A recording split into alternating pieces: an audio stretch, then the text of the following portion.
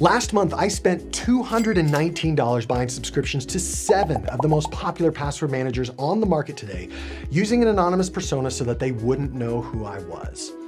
Why? I want to compare the differences between these password managers side by side, how they work, their key features, and how much they cost. Not surprisingly, there's plenty to share, including the fact that you know what? I'm just gonna go ahead and knock LastPass off this list completely because they've had multiple security incidents over the past two years and have lost any credibility as a security software. So that leaves us with six. For this series of tests, I'm going to compare each of the remaining six password managers based on trust factors, including the company transparency and years on the market, as well as how easy it is to set up and use the software. Finally, we'll compare the extra features that set each password manager apart and the pricing investment for each. Let's start with source code. For some users, it is a big deal to build transparency by way of publishing the software source code for users to independently verify. There are benefits to both an open and closed source model that I won't dive into here, but I will add that I have no problem using a closed source system. Of this list, only Bitwarden and Proton Pass are open source. 1Password, NordPass, and RoboForm are all closed source, and Dashlane is just partially open source. In terms of longevity though, RoboForm and 1Password have 23 and 18 years of proven track record respectively, while Dashlane, Bitwarden, and NordPass all have a respectable number of years in the market as well. Proton Pass is the only outlier here, having been launched in June of 2023.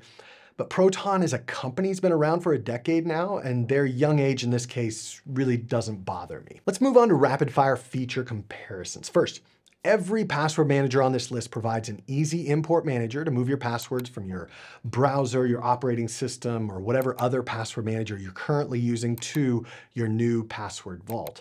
And then all of them have good mobile apps and are very easy to use on pretty much any device that you have. As far as I can tell, Bitwarden is the only one on this list that allows you to self-host your password vault. Uh, this would be for advanced users only, and I'm not taking into account business plans that may or may not allow this.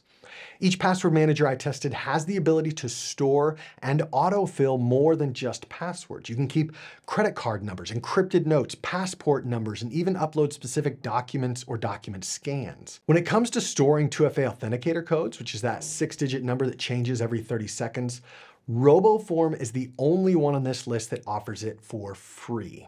Uh, Dashlane includes 2FA on their free plan, but their free plan sucks, so I don't think it counts.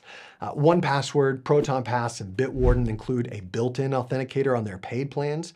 And NordPass is weird in that they only offer this for their business and enterprise plans. I'm not sure exactly why that is. Uh, before we end with pricing, let's talk about the features that make each of these password managers unique. For example, Proton Pass launched with a native email aliasing feature that nobody else has. It allows you to create and store secure passwords and secure email usernames. It's also one of many Proton security apps that work best when used together, which is how I would recommend most people try Proton Pass. 1Password has a number of cool features, including an integration with privacy.com to help you create and autofill virtual credit card numbers, a travel mode to protect vaults while you're on the road, and a feature called Watchtower that alerts you to security breaches and weak passwords that you might have. Bitwarden is the cheapest for individuals at less than a dollar a month. If you want to protect your whole family though, NordPass is the low-cost winner, both for one and two-year plans with up to six accounts. Dashlane includes a VPN for Wi-Fi protection on their individual plan, which to be fair, I mean, you can easily get that with Proton or Nord if you buy into their ecosystems.